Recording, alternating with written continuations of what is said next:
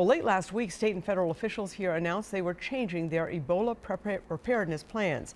State Commissioner of Health Dr. Ed Ehlinger, along with Governor Dayton and other top elected officials, announced that all hospitals in Minnesota will receive training on how to identify and then isolate possible Ebola patients. Patients with Ebola will then be transferred to as yet unidentified centers of excellence that will have special units set up to handle Ebola. And the State Commissioner of Health, Dr. Ed Ehlinger, joins us now. Thank you so much for coming in. Good morning, Esme. Right. Uh, any more clarification on where these centers of excellence will be? Are they going to be in specific hospitals or will they actually be a freestanding uh, containment unit? We've recognized over what's happened over the last week in Texas that the people at most risk are healthcare workers when somebody has Ebola, and that to treat those, you really need a lot of resources and an infrastructure to handle that. And that means the tertiary care centers really need to be where uh, we have people with Ebola being treated. And the hospitals in the Twin Cities and throughout the state have recognized this. So they're working very rapidly to identify which hospitals could really play that role. We're working this week to really try to identify what those hospitals, where they may be. All right, so it, it actually will be in a hospital as of right now, that looks like if we needed to move as quickly as possible, that's where the infrastructure is. There have been some thoughts about having a freestanding uh, center, but that would take a lot more time to get set up than using the existing facilities. And when will we know the, where these freestanding centers are? We're hoping are? that by the end of this, this week, you know, the hospital association working with the CEOs of all the hospitals will identify that. In the meantime, there, we do have four treatment centers throughout in various parts of the country that we could contact if we had a patient with Ebola that came in today. We could contact them to say, would you be able to handle the patient from Minnesota? And that's where would be probably our first step while we're continuing to stand up the hospitals here in Minnesota. All right. Let's let's roll some video that we shot at Hennepin County Medical Center on October 3rd, not that long ago, with a nurse, uh, medical worker actually suiting up for Ebola under the CDC guidelines. These, that, this particular suiting is now obsolete. Uh, the CDC has said this is not good enough. Do, do currently hospitals in Minnesota have the proper suiting or are they going with this suiting?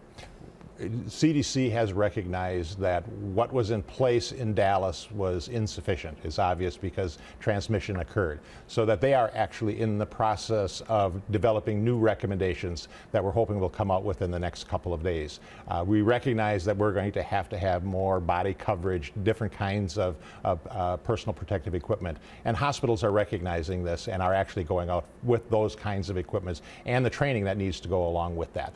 All right. Uh, a lot of debate. Uh, we heard it on the Sunday morning talk shows, even in some of the political races here.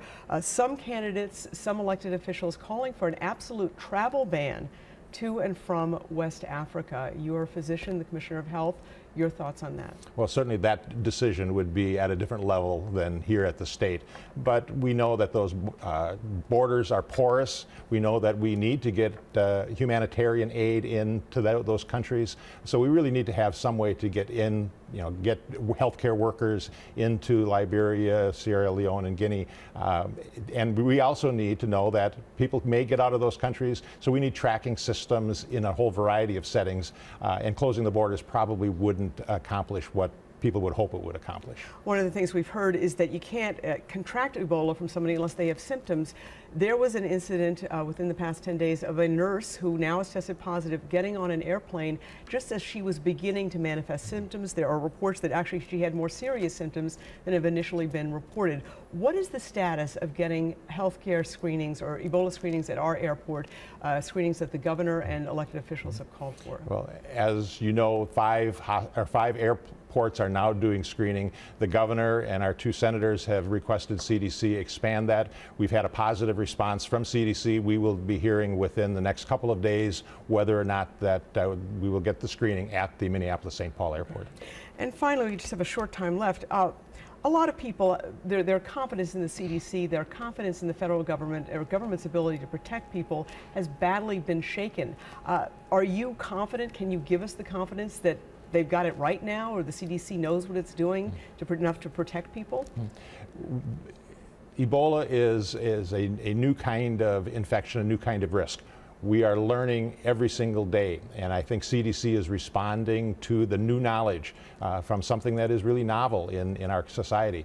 So they're learning, they're responding quickly. We also have a good, strong public health infrastructure throughout the states and at the local level. Uh, I'm confident that our public health system will react in, with the, using the best science we have. As the science changes, we will respond with those new, uh, that new information.